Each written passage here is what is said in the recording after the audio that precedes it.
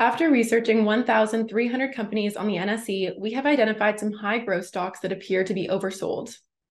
My name is Samantha Kroonje, a global stocks news journalist. Today, we're going to take a look at Tata Elxsi, a design and technology company operating in diverse sectors, including automotive, communications, electronics, and healthcare.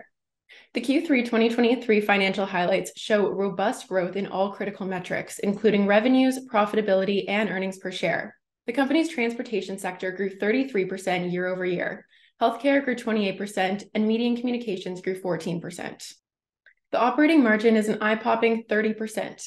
Operating margin is a diagnostic on the core financial engine of the company. It ignores freak expenses or windfalls.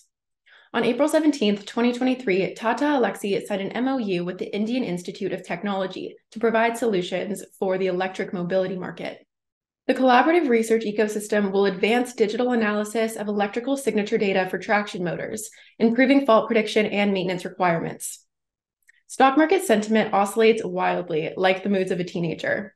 Giddy enthusiasm often precedes periods of irrational gloom. Both states create opportunities for level headed investors. In the last 11 months, Tata Elxsi's price to earning ratio has dropped from 88 to 54. The PE is still high because the company is operating in the hottest tech sectors.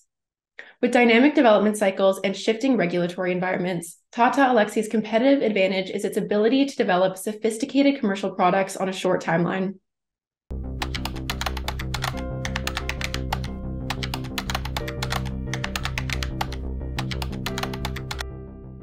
Tune in for further coverage on global stock markets.